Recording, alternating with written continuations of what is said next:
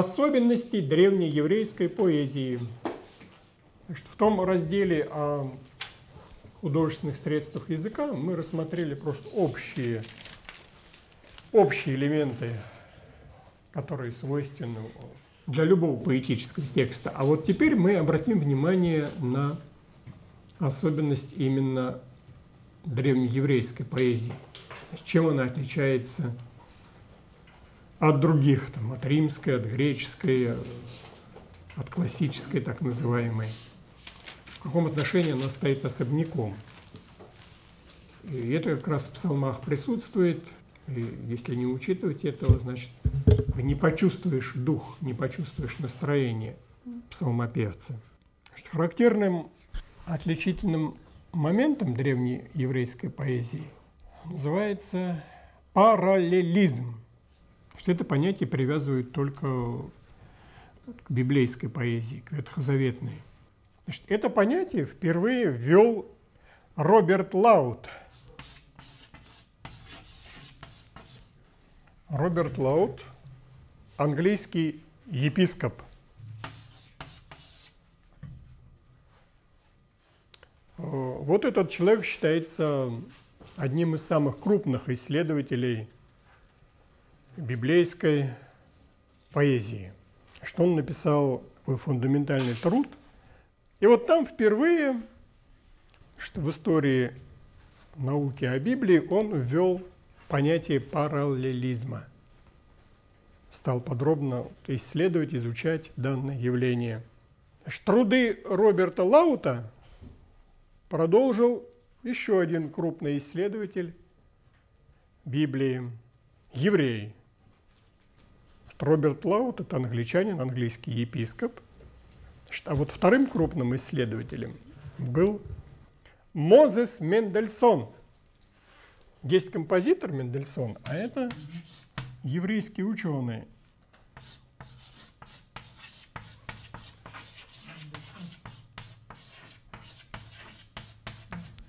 Мозес, Мозес Мендельсон, тоже в 18 веке, в 18 веке он жил, 1729 1786 в одну и ту же эпоху.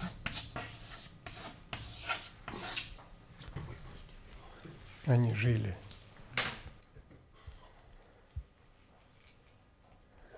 Он один труд большой совершил, этот Мозес Мендельсон. Он перевел пятикнижие на литературный немецкий язык. Параллелизм – это передача одного и того же смысла разными словами – в целях создания единого поэтического образа. Одно и то же, но разными словами, разными словосочетаниями, разными выражениями. Одна и та же мысль. Сейчас мы будем приводить пример разновидности параллелизма отметим. Вот у, у Льюиса есть такое простое сравнение явления параллелизма с с танцевальными упражнениями, с танцем. Три прыжка влево, три прыжка вправо, три прыжка вправо, три прыжка влево. Да, такая вот симметрия. У здания там есть левое крыло, правое крыло. Принцип симметрии присутствует. В древнееврейской поэзии тоже во многих, во многих словах, выражениях, что этот принцип присутствует.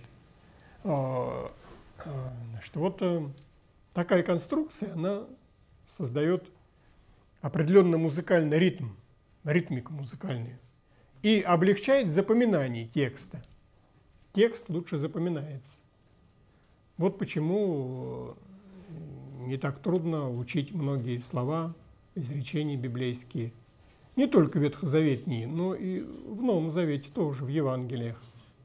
Там речь Христа, в ней тоже определенный ритм есть. Какой меру мерите, такой и вам будет отмерено.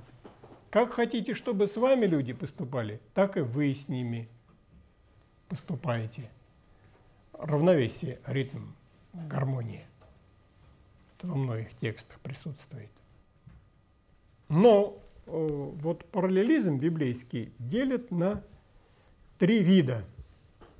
Три основных вида. Сейчас, правда, начинают вводить еще некоторые подвиды. Но основных три. Первый называется синонимический параллелизм. Слово синоним что означает? Кто вспомнит? Равный по значению. А, равный, да, равный по значению. Разные, может быть, по форме, слова разные по звучанию, но родственные по значению. Выражение одной и той же мысли очень похожими словами. Вот пример из Псалма 8. «Что есть человек, что ты помнишь его? И сын человеческий, что ты посещаешь его?» Мысль одна и та же в двух полустишиях, а выражена она просто разными словами. Что есть человек, там сын человеческий. Первой части что ты помнишь его, во второй части что ты посещаешь его. Одно и то же, но разные слова. Второй вид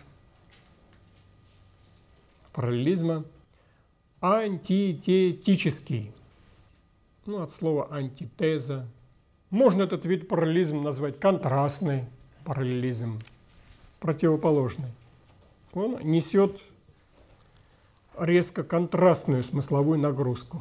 Второе полустишие стихотворной строки резко противоположно первому. Ну, в филологии есть такой термин э, – колонн. Колонн – это полустишие – стихотворной строки.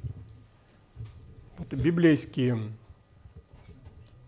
строки, они делятся на два колонна или на, на два полустишия.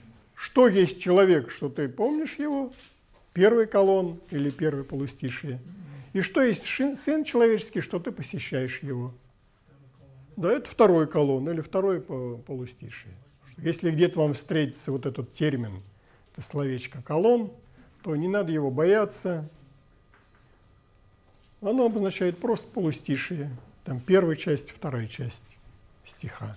Вот при э, антитетическом параллелизме два колонны резко противопоставлены, резко противоположны. Мы уже пример приводили. Там Бог гордым противится, а смиренным дает благодать. Первый полустишие, второй полустишие противоположны резко. Они поколебались и пали, а мы встали и стоим прямо. Тут тоже такое противопоставление. Дом беззаконных разорится, а жилище праведных процветет. Третий вид, третий вид параллелизма синтетический. Определение какое можно дать? Что значит синтетический? Соединенный.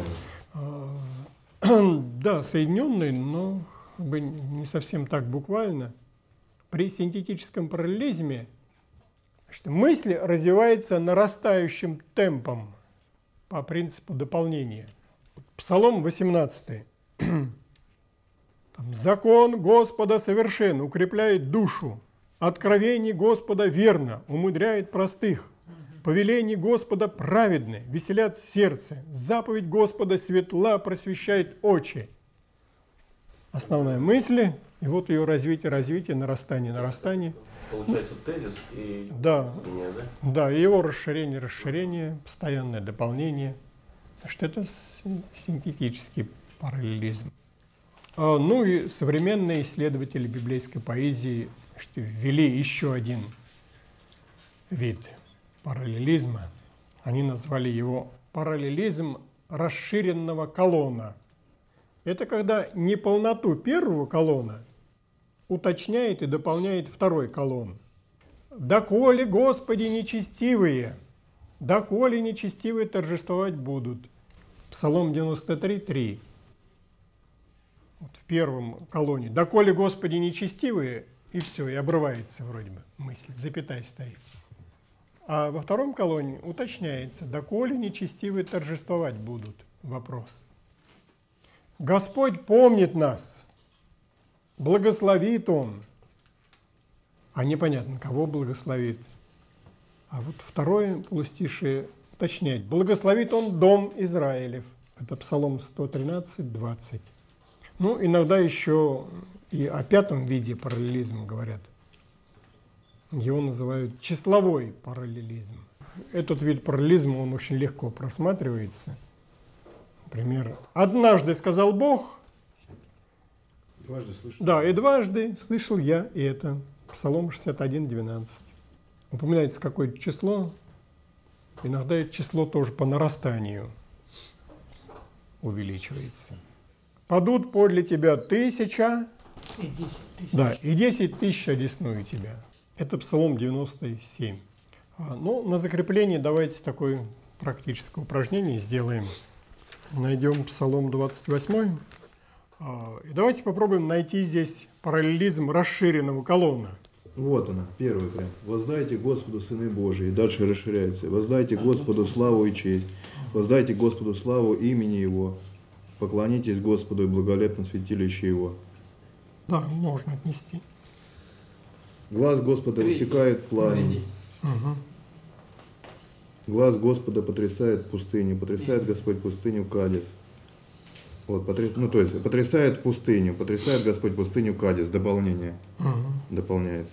Ну и вот пятый стих тоже, наверное. Глаз Господь сокрушает, Сокрушает кедры. кедры. Какие Господь кедры, непонятно. кедр ливанский, Да, дополняет. затем Господь сокрушает И, кедр за- и ливанский. потом дальше до- дополнение идет, и заставляет их сказать подобно тельцу. Нет, это Скакать. скакать. Ой, скакать. Это нет, это нет. Это. Ну как, как бы расширение идет. Какие кедры? Ливанские. Потом как, что, что заставляет ливанские кедры? Можно, э, но цель-то задание в том, чтобы в отдельном стихе увидеть А. вот этот параллелизм Вот. расширенного колонна. Вот еще 11 также. Господь дает силу народу своему. И дальше расширяет. Господь благословит народ своим миром. Вот 90, 91 псалом посмотрим. Так, субботний. Ибо ты возвеселил меня, Господи, творением Твоим восхищаюсь делами рук Твоих.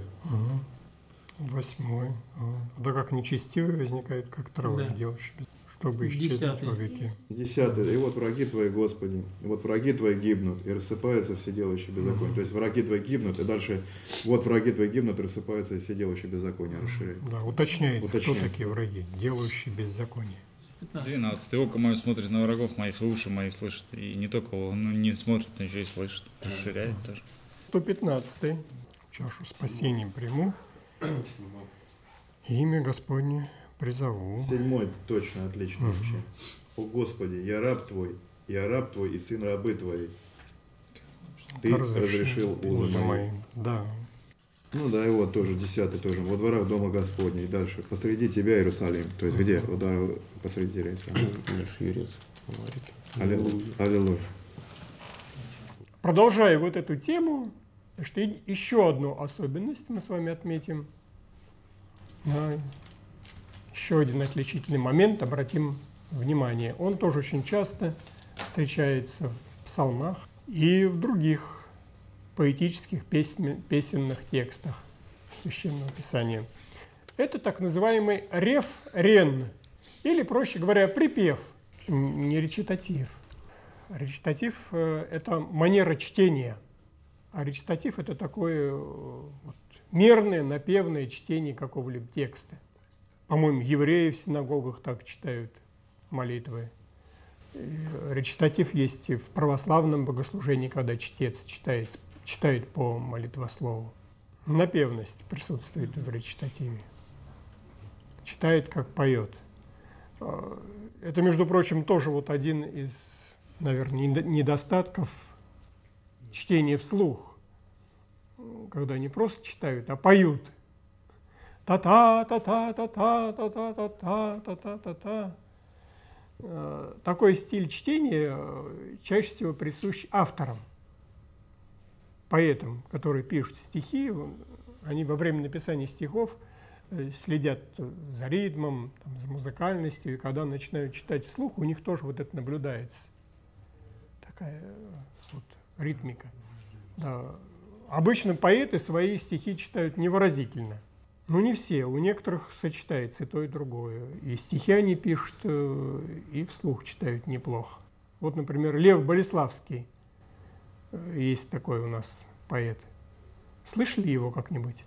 Нет, не приходилось слышать? Лев Ионович Болеславский. У него есть сборники э, духовной поэзии. Это профессиональный поэт, он член Союза писателей России, теперь член Союза писателей Москвы христианин, верующий человек. Вот он и хорошо пишет, и очень хорошо выразительно читает, без вот этой напевности, которая присуща авторам многих.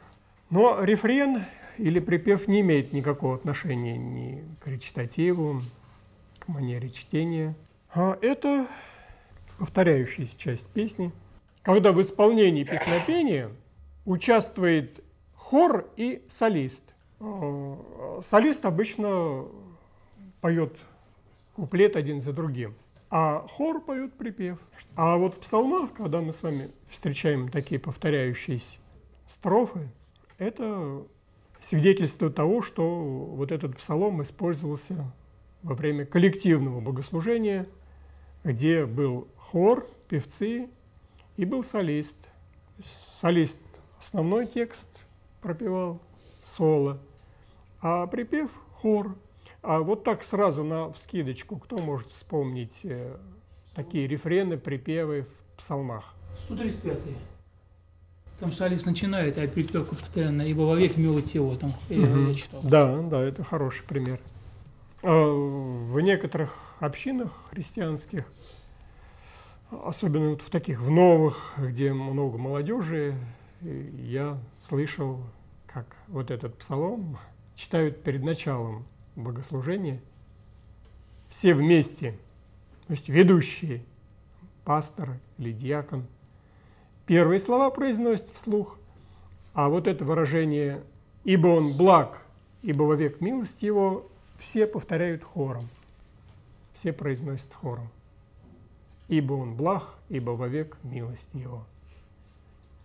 И это неплохо, получается такая, такое молитвенное прославление Бога, коллективное, совместное.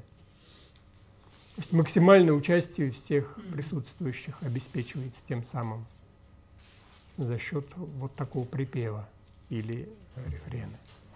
А еще какие можем вспомнить псалмы, где э, тоже припев нам встречается, рефрен. А давайте тогда откроем 41 и 42. Вы, наверное, знаете о том, что раньше, по всей вероятности, это был один псалом, да? 41 и 42, единый, потом его разделили. Попробуйте найти э, рефрен в тексте этого псалма. 6, 12, 41 дни. Что унываешь ты, душа моя, и что смущаешься? Уповай на Бога, ибо я буду еще славить Его, Спасителя моего и Бога моего. Почему вы решили, что это рефрен? Он повторяется. Вот 6 стих в 41 псалме, 12 и в 42 последний. Правильно. Да вот, пожалуйста, И в 42-м, 5 сразу бросается в глаза рефрен. Да, что унываешь ты, душа моя, и что смущаешься? Уповай на Бога, ибо я буду еще славить Его, Спасителя моего и Бога моего. Повторяется не, не единожды, а многократно. Ясно видно, но не во всех же так псалмах. Не, не во второй всех. может быть, благослови душа моя Господа, и вся внутренность моя святой, благослови душа моя Господа. А, Если вот это выражение повторяется Ну, часто, несколько раз. несколько раз, Да. то это можно тогда считать припевом. А вот Псалом 8 есть такой, его считают выдающимся псалмом. Он короткий, величественный. А, Там тоже рефрен легко отыскать. Вот посмотрите на него внимательно и постарайтесь определить, где же там рефрен, в каком Первый и выражении. последний стих. Господи Боже наш, как величественно имя Твое по всей земле. Да, начало псалма и конец псалма, одно и то же выражение. Господи Боже, как величественно имя Твое по всей земле. А, здесь легко найти рефрен, а вот теперь давайте попробуем более трудный вариант, Давайте. где рефрен не сразу бросается в глаза, но он присутствует. Ну, например, Псалом 23. Ну и какой же стих вы определили? 7, как- 8, 9, как 10. рефрен? Повторение, да. Седьмой повторяется, э, седьмой и девятый повторяется, восьмой и десятый повторяется. Ну тут разница небольшая чуть-чуть, да? Вот кто сей царь славы, а дальше э, Господь крепкий и сильный, Господь сильный в брани. А в десятом Господь сил, он царь славы. Ну, есть какое-то немножко отличие. Да, э, здесь не буквальное повторение, есть некоторые там различия, но да, суть одна и та же. 28 Да, посмотреть. Очень много похожих. 28-й псалом. Да, там тоже такой же рефрен есть. Там вроде третий, четвертый, пятый. Потом седьмой повторяется, восьмой, девятый. И когда э, наши хористы поют, по-моему, на день э, входа Господня в Иерусалим поют как раз текст 23-го псалма. Знаю. Церковный хор поет. Кто сей царь славы? Господь сил. Да, Господь сил, царь Крепкий. славы. Нам не безразлична современная церковь, и у нас есть, что ей предложить. Поддержите наш проект молитвой и финансами. Информацию, о чем молиться и как пожертвовать, вы можете найти на сайте www.tvseminary.com. Следующая тема – светская и сакральная поэзия Библии. Ну, Слово «сакральный» понятно вам? Встречалось оно где-то? Сакрально. А Что означает слово «сакральный»? Сокровенный, может. Нет, э, нет. Сакральное значит священное, духовное, святое. Это синонимические определения. Что вот эти понятия иногда обозначают одним словом сакральный. Э, Можно было бы по-другому озаглавить эту тему. Например, светская и духовная поэзия Библии. Или там духовная и светская поэзия. Но этот термин тоже часто встречается в разных учебниках, исследованиях богословских. Это интересная сфера для изучения библейских текстов, как отделить светское от духовного или духовное от светское. И вообще, существует ли в Библии такой раздел между светским и духовным? Вот мы сейчас это увидим. Как это, стоит ли это вообще разделять? Да, можно ли разделять или нет смысла разделять. Есть ли тут какой-то условный подход, чисто такой внешне искусственный, может быть, который придуман современными библеистами, учеными. Мы попытаемся вот это выяснить. Конечно, сразу можно сказать, что в Библии нет разграничения. В Библии нет указаний, ага, вот это, мол, светская поэзия или светская там песнь, песнопение, а это вот духовное. Нет четких указаний. А, Это деление было введено уже позже, когда стали изучать Библию с разными подходами на разных уровнях. Но если иметь в виду книгу псалмов, а в некоторых псалмах есть такие указания, уведомления, заголовочки, заставочки. Ну какие, например? «Песнь Господня», подчеркивается, Псалом 136 так начинается. Вот точно указание, что это вот божественная песня. Песня, где в центре Бог, прославление Его милости, Его щедрот. Псалме 136 есть такое выражение «Песнь Господня». В четвертом стихе Ну, это Псалом. Но это же не 136-й псалом, это просто в контексте употребляется, когда отвечают, э, как нам петь песнь Господню. Не говорится, что они 36-й псалом поют, а песню Господню какую-то. Мгм, Да, ну просто песни, м, да, это нельзя отнести непосредственно к 136 а выражение такое встречается, песня Господня. Ну и есть указания, как мы уже с вами говорили, например, псалом хвалебный. Э, Ясно, что хвалебный не, не в адрес там человека или народа, а хвалебный, где Бог прославляется. Какой? Псалом 99.1. Есть там такое упоминание Да, да. в начале, да?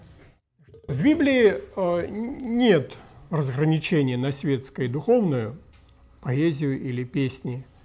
А впервые вот это деление на светские жанры и на духовные применил один немецкий ученый. Звали его Герман Гункель. 1862-1932. Это годы его жизни.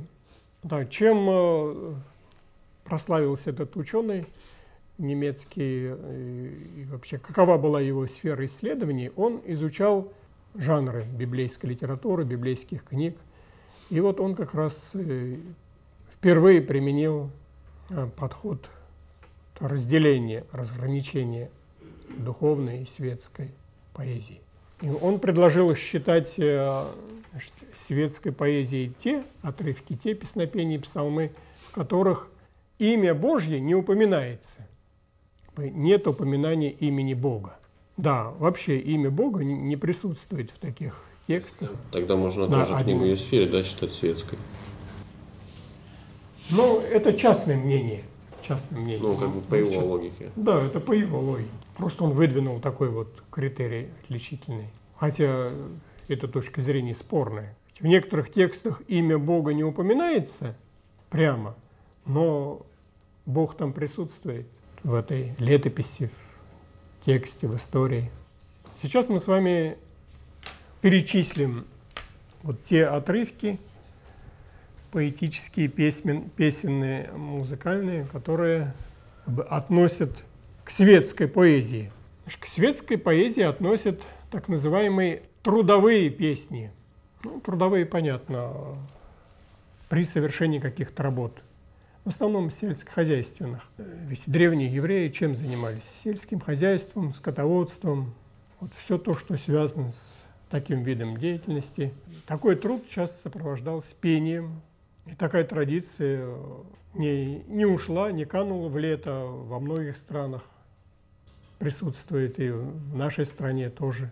В досоветский период, когда шли люди там косить траву, вязать снопы, они пели, и во время работы пели тоже. В советское время э, тоже стали внедрять такие советские традиции, сопровождать физический труд игрой на музыкальных инструментах. Более яркий пример такой песни трудовой – это книга «Чисел», числа 21 глава, 17-18 стихи. Да? Когда воспел Израиль песнь сию, наполняйся колодец, пойте ему. Колодец, который выкопали князья, вырыли вожди народа законодателям жезлами своими. Из пустыни отправились Матану. Да, это вот короткое песнопение, так и называется по первым строчкам. «Наполняйся колодец, пойте ему». Видите, какое выражение необычное? Пойте «Наполняйся колодец и пойте ему», вроде бы колодцем. Колодцем обращена песня не к Богу, а к колодцу. Ну и потому вот Гункель и другие отнесли э, значит, данное песнопение к светской поэзии, к светской песне. Вроде бы обычная такая трудовая песня, здесь и имя Бога не присутствует, и обращения к Богу нет. Если посмотреть шире, то вряд ли можно сказать, что это вот в данном случае только светская песня. Это не совсем так. Здесь мы можем с вами обнаружить символы обобщения. Какие? А вот сам колодец. Колодец в израильском народе был местом встреч и сходок. У колодца судьбоносные встречи происходили, Ну да, которые изменяли да, судьбы, личные судьбы людей. Кто может вспомнить примеры вот таких судьбоносных встреч у колодца? Ревекка, подожди, не Да. спеши, это, это позже было. Сначала Ревекка была, потом уже Самарянка.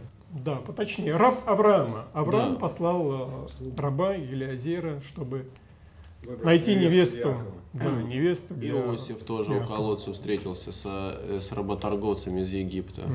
Да, Моисей и. Сепфора, Сет. да, встретились у колодца. Да. Защищал. Книга Бытия.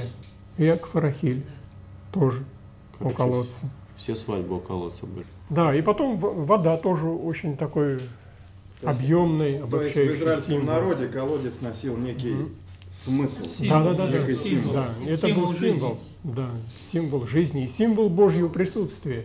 Помните, Бог сказал Моисею, вот скажи скале, и из нее истечет вода из скалы. Так что вряд ли можно сказать, что вот песни о колодце – это чисто такая светская песня. М, Тут условное такое отделение. Духовный момент, сакральный, священный тоже присутствует.